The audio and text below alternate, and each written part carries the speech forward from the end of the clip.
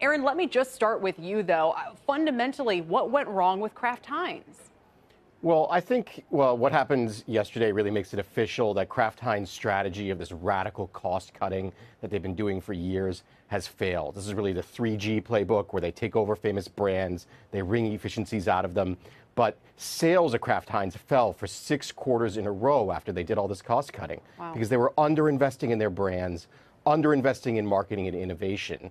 And uh, now, you know, they're paying the price. And I always, Aaron, thought it was so interesting that Berkshire Hathaway was involved because, of course, it's important to have discipline when it comes to management, but that's not typically the kind of Warren Buffett story, right? I mean, he likes great brands because they're great brands and they should be able to grow and, and thrive, not necessarily because you're going to cut expenses down to the bone, right? What, I don't want to, I hate to ask you this, but what do you think he's thinking right now? Well, I think you guys are going to ask him that on Monday, we right? Are, but yes. uh, I think, uh, you know, it would serve him well to give us an explanation of what he think went wrong, uh, why he was wrong, frankly.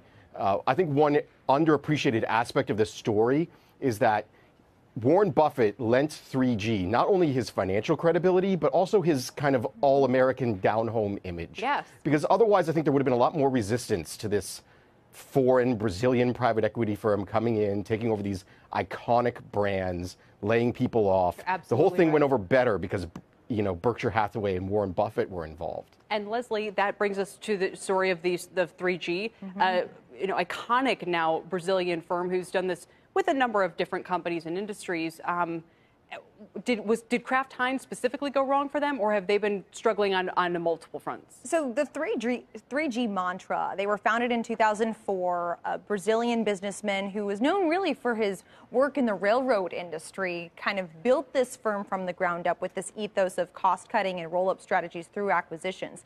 Now, a couple other areas where they're invested right now. Uh, Restaurant Brands International, which mm. is doing quite well. The parent of uh, Burger King. That I would say is kind of a mirror image of what's going on with Kraft Heinz right now. But they also did were responsible for the roll up of Anheuser Busch InBev uh, which is struggling a little bit more. So I wouldn't say either of those are really akin to what's going on with Kraft Heinz, but it certainly does call into question this whole 3G cost cutting model because if you can't get that acquisition machine going, right. and you're doing what they call zero based budgeting every single year, right. does it ultimately serve every company?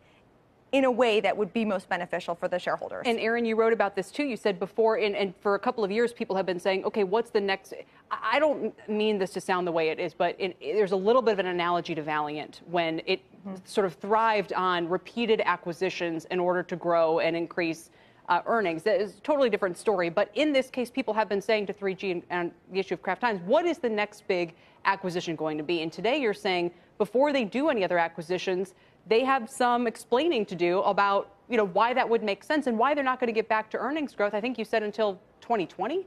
Yeah, they said themselves earnings are going to fall next year and they'll get back to earnings growth in 2020, which was really disappointing to people.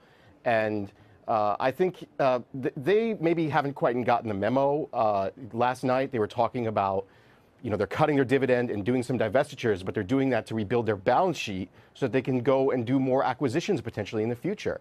And I just am not sure that's going to happen. People, brands already are afraid that if they get bought by Kraft Heinz, it means that they're going to get gutted. Mm-hmm. And this only reinforces that argument. You know, that's what Unilever said when Kraft Heinz was interested in taking over them. Oh, that's and right. so yeah. I, I really don't think that that's in the cards. I think they need to clean up in house. They need to show that they can grow these iconic brands that they own. There has been organic sales growth for the last two quarters. But that was because they were mostly cutting prices in the U.S.